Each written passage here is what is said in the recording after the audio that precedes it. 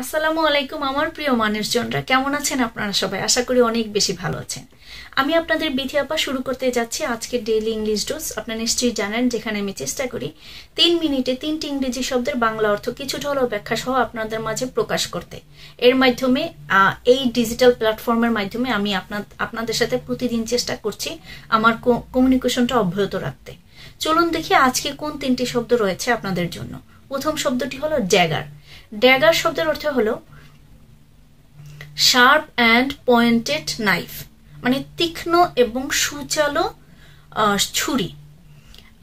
যে ছুরিটা মেইনলি ব্যবহৃত হয় অস্ত্র হিসাবে। মানুষ যখন অস্ত্র হিসাবে তীক্ষ্ণ এবং সুচলো এবং ছোট সাইজের ছুরি ব্যবহার করে, ওটাই হলো ড্যাগার। কিচেনের জন্য, কিচেনের কাজ করার জন্য যেই ছুরিটা আমরা ইউজ করি বা বাগানে কাজের জন্য গার্ডেনিং এর জন্য যেই ছুরিটা আমরা ইউজ করি, ওটা কিন্তু ড্যাগার না। ড্যাগারটা টোটালি ওয়েপন হিসেবে ব্যবহৃত হয়।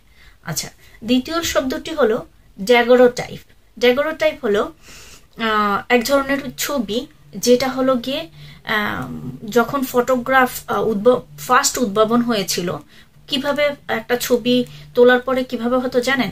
সেটা হলো গিয়ে সিলভারের প্লেটের উপরে মার্কিউরি ভেপর দিয়ে ছবিগুলো তখন ছবিগুলো তখন হতো। এখন যেমন ছবি তুললেই দেখেন আপনার কপি পেয়ে যাচ্ছেন মোবাইলে মানে কোনো উপায়ের শেষ নেই। কিন্তু তখন একটা ছবি তোলার পরে ফর্সি উদ্ভাবক জ্যাক ধাম, যিনি আঠারোশো শতাব্দীতে এই এই ড্যাগোরোটাইপ প্রসেসের মাধ্যমে ড্যাগোরোটাইপ প্রসেসের মাধ্যমে এই ফটোগ্রাফিটা তখন এইভাবে সেভ হতো, ঠিক আছে? এইভাবে সংরক্ষণ হতো। কীভাবে? সেটা হলো সিলভারের প্লেটের উপরে মার্কিউরি ভেপর দিয়ে। যেটা মেইনলি গত তিন চার বছর আগে সেটা হয়েছিল যে এক একটা ছবি প্রায় তিরিশ হাজার ডলার ডলার অকশনে এই দেগরো টাইপ ফটোগ্রাফসগুলো তিরিশ হাজার ডলার দামে বিক্রি হয়েছিল, নিলামে, ঠিক আছে? আচ্ছা তাহলে এটা হলো দেগরো টাইপ হলো এক ধরনের ছবি। এক ধরনের ছবি যেটা হলো প্রাথমিক পর্যায়ে ফটোগ্রাফির প্রাথমিক পর্যায়ে যেভাবে যেই প্রসেসে সংরক্ষণ করা হতো, সেই ছবিগুলো ওকে দাগরো টাইপ ফটোগ্রাফস এগুলোকে বলা হয়। আচ্ছা তৃতীয় শব্দটি হলো ডায়মন ডায়মন ডায়মন্ড শব্দটার এক্সাক্ট সিনোনিমস হলো ডেমন ডেমন। এখন বলেন তো ডেমন শব্দের অর্থ কি? ডেমন আমরা মেইনলি বলি হলো গিয়ে এভিল স্প্রিট কিন্তু গ্রিক মেথোডোলজিতে আগে ডায়মন্ড বলা হতো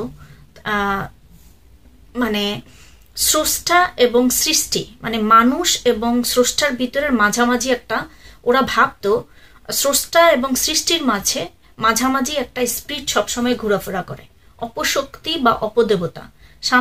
মাঝে মাঝে বলতো যে মঙ্গলকর দেবতা। সেই স্পিরিটটাকে ওরা বলতো ডায়মন্ড মানে একটা ইনভিজিবল স্পিরিট যেটা সবসময় মানুষের কল্যাণের জন্য স্রষ্টা এবং সৃষ্টির মাঝামাঝি জায়গায় থাকে এবং মানুষকে প্রোটেক্ট করে। ওটাকে ওরা বলতো ডায়মন্ড এটা পরবর্তীকালে ধরেন evil spirit as in angel as in শায়তান হিসেবেও এটাকে এভিল স্পিরিট যেটাকে বললাম আর কি, সেভাবেও রিফ্লেক্ট হয়েছে সেভাবে ইউজ হয়েছে রাইট আচ্ছা আজকে তাহলে আমরা তিনটা শব্দই শিখলাম। তিন একটা হলো ডেগার দ্বিতীয়টা হলো ড্যাগরো টাইপ ফটোগ্রাফস যেটা। তৃতীয়টা হলো ডায়মন্ড। খুবই সহজ। আমি আমি সবচেয়ে মজা পেয়েছি হলো গিয়ে ডাগরো টাইপ ফটোগ্রাফস যেটা জেনে। এটা টোটালি নতুন আমার কাছে ছিল। এই যে আমি বলেছি, আমি সবসময় বলি যে আমি আমার আমিও শিখছি, সাথে সাথে আপনাদেরকেও আমার আপনাদেরকে সাথে নিয়ে আমি শিখছি। আমি শিখছি এবং আপনাদেরকে সাথে নিয়ে আমি শিখছি। যাতে করে হচ্ছে কি আমারও লাভ হচ্ছে, আমিও উপকৃত হচ্ছি এবং আপনারাও কিছুটা হলেও উপকৃত হচ্ছেন। তো উপকারের কথা যেহেতু বললাম, যদি আপনারা একটু হলেও উপকৃত হন, প্লিজ আমার ইউটিউব চ্যানেল সাবস্ক্রাইব করুন। আমি আপনাদের কাছে আবদার করছি এটা।